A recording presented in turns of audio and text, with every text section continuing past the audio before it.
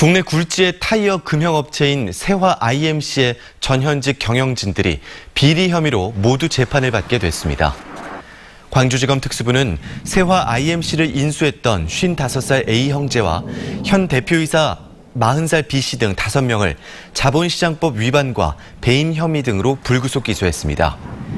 이들은 세화 IMC를 인수한 뒤 거래 정지가 임박했다는 사정을 미리 파악해 회사 주식 620여만 주를 팔아 손실을 피하고 A씨 형제의 다른 회사 주식을 비싼 값에 사들인 혐의를 받고 있습니다. 한편 세화 IMC 옛 경영진들 역시 횡령 등의 혐의로 재판에 넘겨져 심리가 진행되고 있습니다.